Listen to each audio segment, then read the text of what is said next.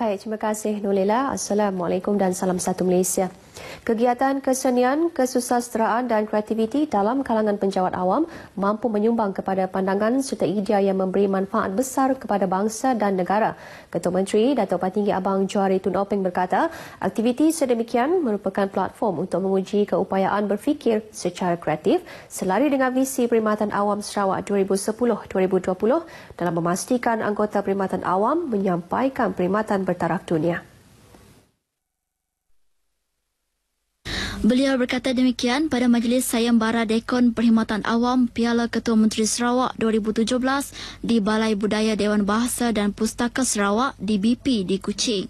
Teks ucapannya dibacakan oleh Timbalan Ketua Menteri Datuk Ahmad Awang Tengah Ali Hassan menyentuh mengenai sayembara dekon yang merupakan gabungan deklamasi sajak dan gerak lakon itu, Datuk Patinggi Abang Johari berkata, ia mengandungi unsur inovasi dan kreativiti yang sangat digalakkan oleh kerajaan. Ia penting bagi memantapkan semangat berpasukan untuk mencapai objektif organisasi dalam melaksanakan dasar-dasar kerajaan. Pada majlis itu, kumpulan bayu daripada Lembaga Pelabuhan Kuching menjuarai sayembara itu dengan puisi berjudul Bangkit ciptaan Robert Tony Josh dan membawa pulang wang tunai RM2,000, piala pusingan serta sijil dan buku terbitan DBP. Manakala tempat kedua dimenangi kumpulan Puspa Kencana dari Pejabat Pendidikan Daerah Miri dan Osman Zaini dari Sekolah Kebangsaan Rajau Ensika Simunjan tempat ketiga.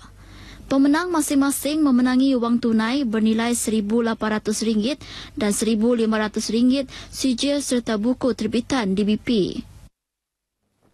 Berhenti melakukan jenayah dan patuh kepada peraturan serta undang-undang berkaitan marin. Pasukan Polis Marin PPM tidak akan mendabik dada dengan kejayaan selama ini, malah akan menggandakan usaha penguatkuasaan dengan melakukan penambahbaikan termasuk menambah anggota dan aset. So kita melihat kepada tahun depan kita akan memperkukuhkan lagi kita akan consolidate uh, usaha-usaha kita atur gerak kerja kita yang lebih hebat dengan ancaman-ancaman cabaran-cabaran yang mendatang khususnya melalui maritime areas. Ini perlu kita kawal. Beliau berkata 550 kes berkaitan jenayah dan kesalahan merin antaranya di bawah Ordinan Perhutanan Sarawak, Ordinan Sungai-Sungai Sarawak, Akta Perikanan dan Akta Dadah Merbahaya dilaporkan dalam tempoh 9 bulan tahun ini. Ia menunjukkan peningkatan sebanyak 30.6% atau 129 kes berbanding 421 kes yang dilaporkan pada tahun lepas. Beliau menyatakan demikian pada sidang media ketika membuat lawatan ke markas PPM Wilayah 5 di Kuching. Tambahnya, PPM juga akan meningkatkan risikan dan meneruskan kerjasama dengan agensi penguatkuasaan yang lain termasuk agensi penguatkuasaan maritim Malaysia dan Jabatan Hutan agar kedaulatan negara termasuk kekayaan sumbernya terus dipertahankan. Ia turut melibatkan usaha membantras sindiket pembalakan haram yang menunggu masa untuk ditumpaskan. Sektor awam negeri terus menjadi fokus utama dalam transformasi perkhidmatan awam negara. Pengarah Perbadanan Produktiviti Malaysia, MPC Wilayah Sarawak, Tengku Azmi Tengku Majid menyatakan sambutan di luar jangkaan terhadap pengurusan LIN di negeri ini merupakan antara faktor utama yang menyumbang kepada perubahan ini. So banyak inisiatif yang Sarawak buat yang pertama. Itu satu perkara yang kita perlu apa ni memberitahu pada orang lain petunjuk bahawa kita sebenarnya dalam beberapa perkara Sarawak telah menjadi dia punya leader. Ujarnya meskipun bukan mudah untuk mengubah budaya kerja sesebuah organisasi seperti 30 tahun lalu, namun ia dapat dilaksanakan secara sistematik.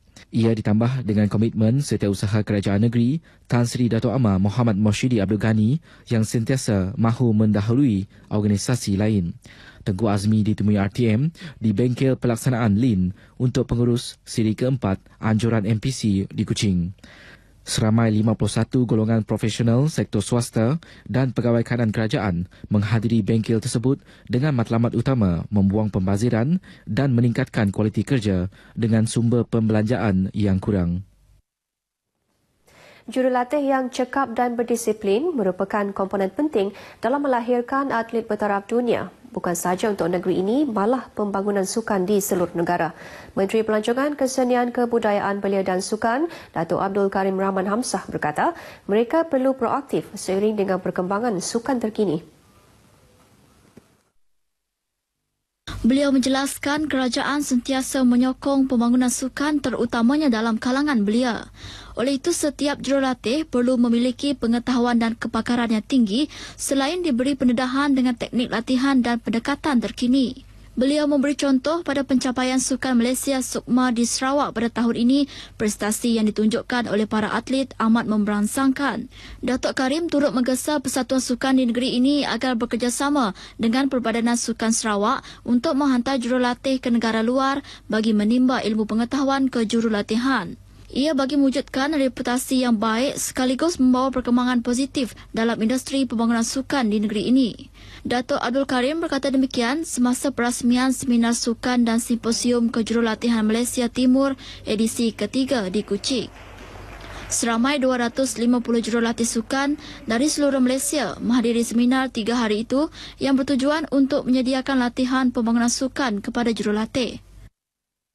Seorang penagih berusia 40 tahun ditahan kerana memiliki dadah jenis syabu seberat 13.60 gram. Menurut Ketua Polis Daerah Lawas, Deputi Superintendent Abang Zainal Abidin Abang Ahmad, serbuan dilakukan di Merapuk Lawas kira-kira pukul 4.30 minit petang semalam.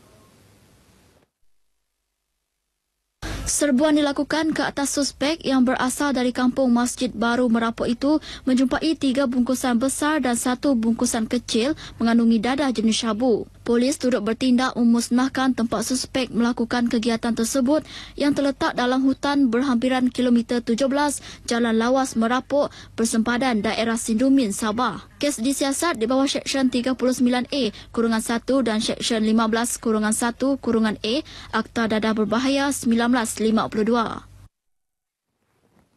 Baik, saudara, setakat ini dahulu sumbangan berita dari Sarawak untuk N5 petang ini dan untuk berita seterusnya kembali kepada Nolela di Angkasa Puri.